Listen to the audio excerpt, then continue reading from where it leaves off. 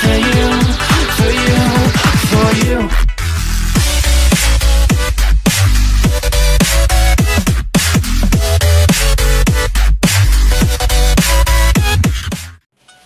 what's up guys and welcome to another MCP video and today guys I will be giving you an update on a map that I've been working on and it's called the Mega Redstone House in MCP. So just go straight to our video. For our first creation guys we have a working nighttime lights. So as you guys. And here is our main entrance.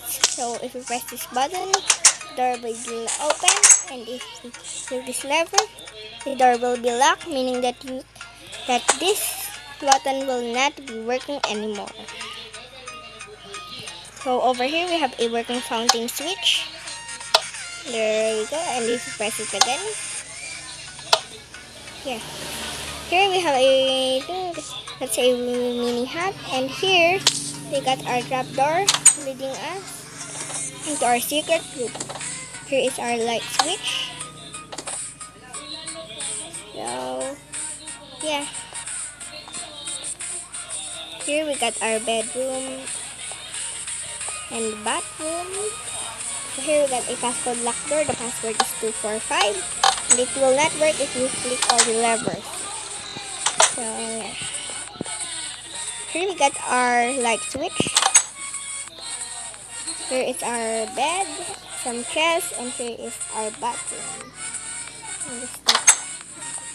So here is our sink, our shower, and our toilet. No, it's small.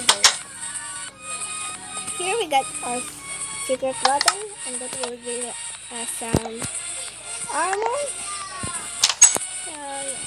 Now we're done in this room. We need to head over to our farm area. And this basically very, very fine. So you can see. Here is our wheat farm. If you press this button, it will be harvest. And if you press it again, just like that. So all the loots will go into their chest. And then basically just plant them all again. Just like this. So I think this is just it for this update video. Thank you guys for watching. I will see you guys in the next video.